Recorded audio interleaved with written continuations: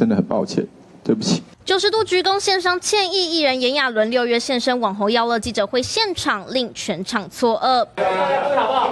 情绪失控，低头不语，记者会一度中断。炎亚纶当时遭要乐指控偷拍不雅影片，还外流。不过双方却各说各话，绝对没有强迫或者强迫、强迫任何强迫任何意愿的事情。嗯。就是我没有办法想象他要用这种。事件延烧至今，事检在八号起诉炎亚纶，虽然检调认定未涉及性侵，但事发当时耀乐只有十六岁，未经同意拍摄影片，已经构成儿少性剥削罪。但炎亚纶也发文质疑耀乐为了私人感情占据版面，感到无奈。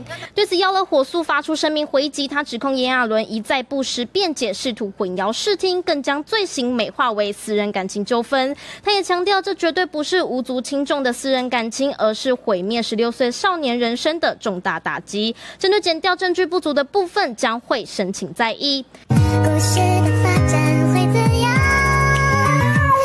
不止炎亚纶多项代言全丢，昔日有抖音男神称号的耀乐，在社群累计高达三十八万粉丝，却在六月中之后停止更新。双方付出之路中间卡着 MeToo 官司，恐怕真的遥遥无期。记新闻黄玉婷采访报道。